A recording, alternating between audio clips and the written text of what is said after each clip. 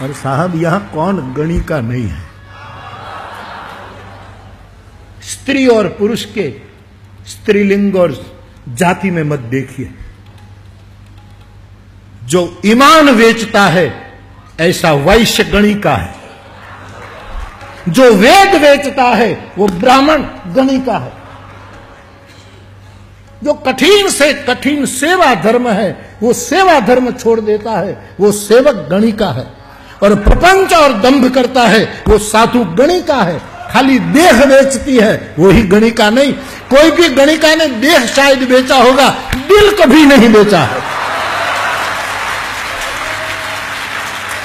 एक नर्तकी की सभा में मेरा विवेकानंद भी बैठा था। इतिहास है, युवा सन्यासी, और एक नर्तकी नृत्य करती थी। कौन गणिका नहीं है? मैं व्यासपीठ पर बैठकर मेरी वाणी का पैसा लूँ तो मैं भी बड़ी का हूँ।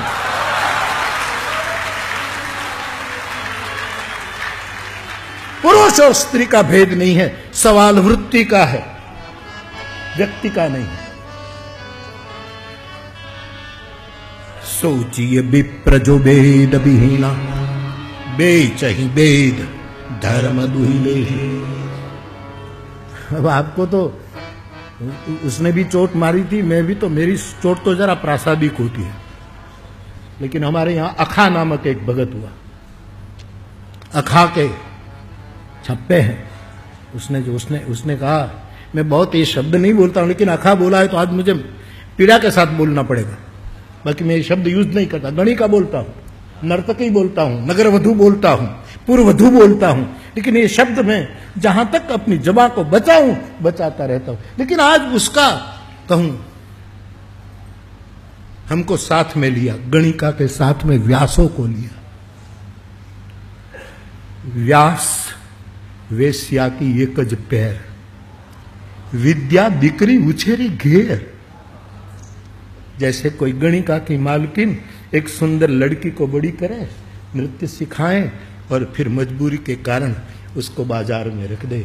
वैसे व्यास लोग क्या करते हैं? उसने विद्या नामक बेटी उछेरी थोड़ा जान लिया, थोड़े प्रसंग जान ली, थोड़े कथानक जान लिया, उसको बड़ी की और फिर व्यासपीठ पर बेचने लगे। तो व्यास वेश्या की एकज पेर। विद्या बेटी उछेरी घेर। उसने कन्या बड़ी की और बाज़ार में औरत ने जन्म दिया मर्दों को और मर्दों ने उसको बाजार दिया कौन नहीं है गणिका अपने सीने पर हाथ जिन जिन लोग ने वो क्षत्रिय गणिका है जो शास्त्र का शस्त्र का समर्पण करने के बदले शस्त्र बेचता है वो क्षत्रिय गणिका सच्चा क्षत्रिय माया भाई तलवार ठूठू થઈ ગઈ હોય તો કોઈ બી વેચે નહીં કટાઈ ગઈ હોય સાહેબ क्षत्रिय દીકરો કોઈ દિવસ शस्त्र न बेचे शस्त्र के सौदागर दूसरे होते हैं दो दूर मुल्कों में होते हैं